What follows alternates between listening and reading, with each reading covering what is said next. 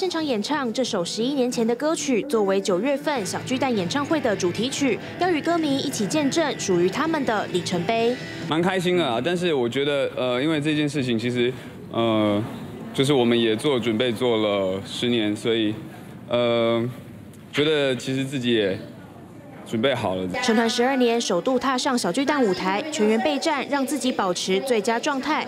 不过，先前同门的告五人夺下金曲奖最佳乐团，却被质疑歌曲过于商业化，不值得拿奖，让盛浩忍不住 IG 发文为告五人出口气。先生在十年前得奖的时候，其实呃遭遇过类似的状况嘛，就是我觉得本来网络上面的声音就很多。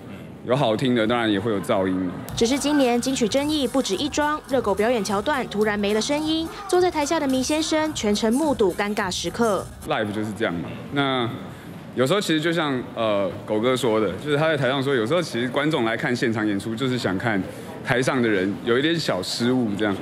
我觉得那的确也是现场才会有的一些有趣的事情。唱了十二年的迷先生也曾遇过不少惊险的演出事故，把危机化成转机。接下来成员们就要好好准备公蛋演唱会，把状态调整到最佳，用完美的表现迎接所有歌迷。TVB 新闻周玉峰、卢鸿昌、沈寿、江伯君台北采访报道。